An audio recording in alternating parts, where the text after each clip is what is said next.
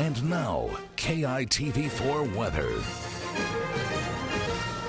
Welcome to Weather Now. We've been enjoying just beautiful conditions, trade, sunshine, and with the high clouds that came through, really didn't do anything for our weather except paint these beautiful pictures for our sundown out towards Kuhio Beach. And mahalo to Don for sending that in. Of course, you can upload yours at the local section of our website, KITV.com. Here's another fantastic shot. Now, our Doppler radar showing very few showers. We aren't dealing with much out there, with the exception of Honaunau managed to pick up a little bit more than an inch and a third there for the leeward side of the Big Island. Everywhere else, uh, just around a tenth of an inch or less, so it hasn't been anything significant. In fact, this should continue, although we are expecting another batch of showers to come in later on tonight through Saturday morning. It's not going to be anything significant as far as rainmakers go, just a little bit wetter than what we have been dealing with, and that moisture stays around the area but clears the state well through Sunday. We are looking at those sea breezes kicking up. I'll have details on that in just a bit, but everywhere for our Surf, Surf News Network calling for 1 to 3, maybe an occasional plus another reinforcement out of the southwest on the very small scale Sunday, Monday,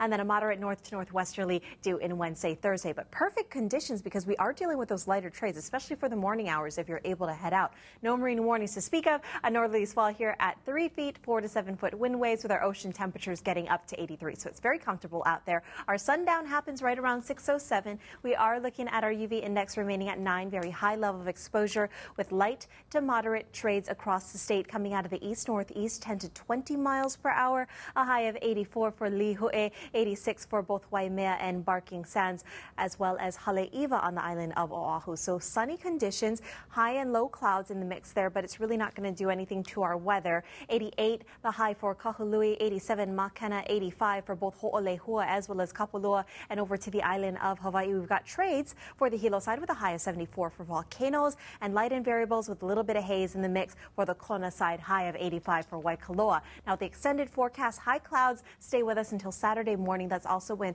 uh, some shower activity should clear until Sunday afternoon. We're looking at daytime heating because the lightest of our trades coming through. So very uncomfortable second half of the weekend. This pattern expected to last through next week, Tuesday, and then midweek of next week, we're anticipating our trades to build back at least through next week, Aloha Friday. Highs remain in the mid to upper 80s.